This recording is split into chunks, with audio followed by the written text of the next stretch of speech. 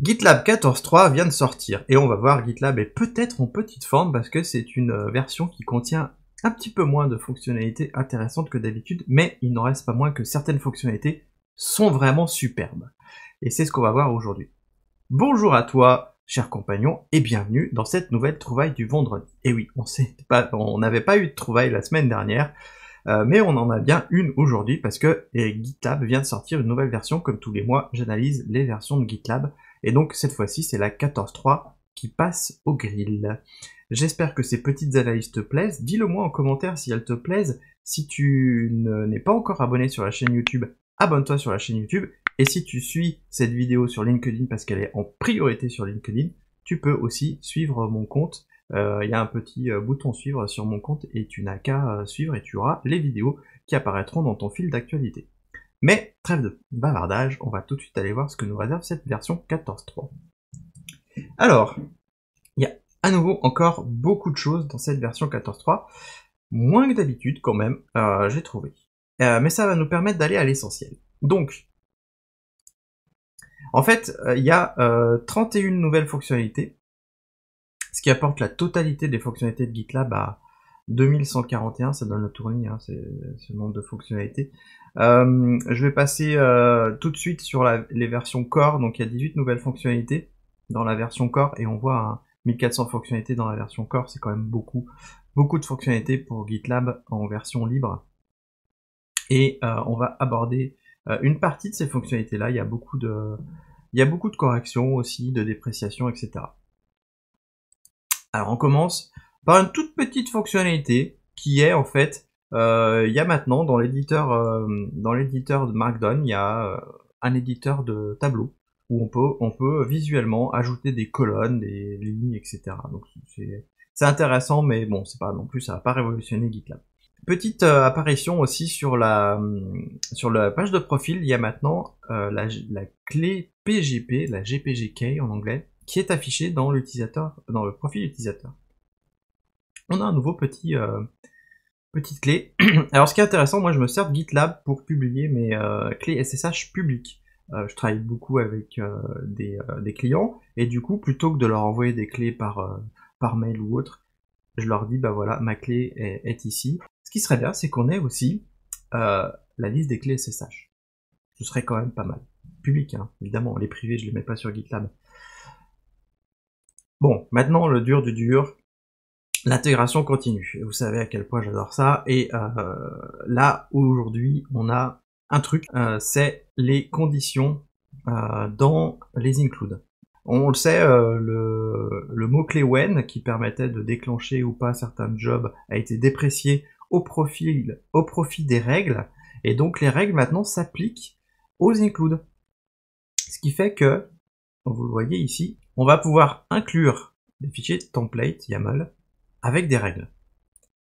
Et donc on va pouvoir comme ça faire des euh, faire des choses assez intéressantes, pouvoir inclure des jobs en fonction de si c'est une merge request, si c'est une branche, si c'est telle branche, etc. Euh, ça pourrait être intéressant aussi pour inclure des fichiers qui contiennent que des valeurs. Euh, si vous avez des valeurs différentes en fonction des environnements, bah ça c'est vraiment intéressant. donc pour le coup, moi je trouve que cet ajout-là, il est super intéressant. Et le deuxième ajout dans l'ACI, c'est celui-là. Si vous avez suivi mon live de dimanche, vous avez pu voir que je me suis euh, cassé les dents sur... Euh, je pensais qu'on pouvait déclarer des variables dans des variables, bah non, c'était pas possible. Et eh ben avec la GitLab 14.3, ce sera possible. Donc on va pouvoir faire ce genre de choses.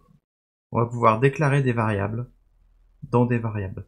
On voit que ici, là, on a des variables. La variable 1, elle est inclue dans la variable 2. Donc ça, c'est quelque chose qu'on va pouvoir faire. En fait, avec l'inclusion euh, des configurations euh, sous condition, on va pouvoir faire des choses super intéressantes. On va pouvoir vraiment apporter encore plus de modularité dans nos pipelines. Maintenant, on va passer aux pages. Donc les GitLab pages. Euh, les GitLab pages, il faut savoir qu'elles supportent les, les redirections. Et ben maintenant, on a accès aux redirections de type wildcard directement.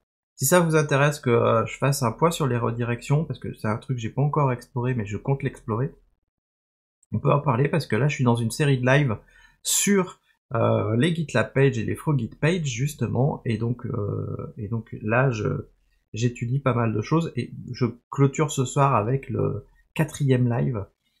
D'ailleurs à 17h sur la chaîne YouTube, c'est un live où on va voir comment est-ce qu'on déploie Docuzorus sur les différents merge requests. GitLab Page maintenant supporte les redirections wildcard, donc c'est intéressant. Voilà ce que j'ai sélectionné pour vous pour GitLab, mais il y a des bonus aujourd'hui.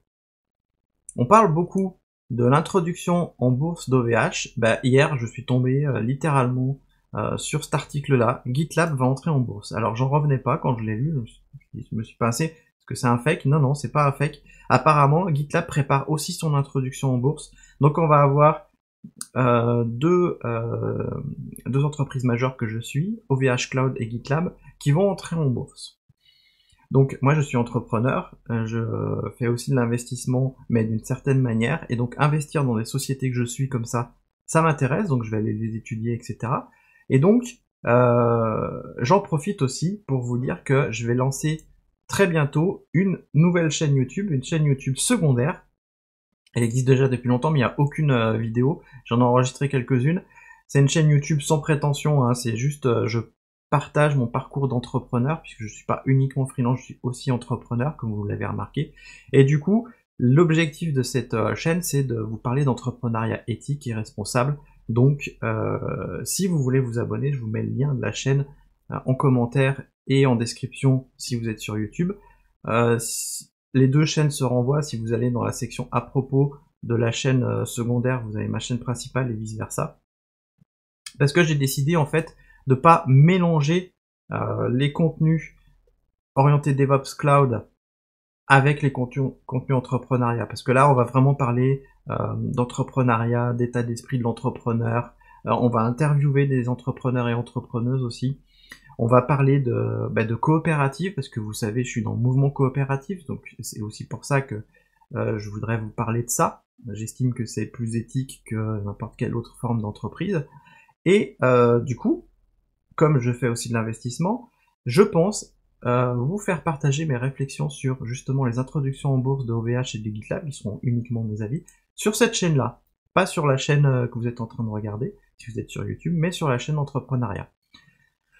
J'ai essayé de séparer les choses, donc allez vous abonner si ça vous intéresse, si vous êtes entrepreneur ou si vous aspirez à être entrepreneur euh, un jour. on parlera aussi un petit peu de freelancing, puisque j'ai fait 50 freelancing, je quitte un petit peu le freelancing pour m'orienter vraiment sur la création de services et de formation et de produits.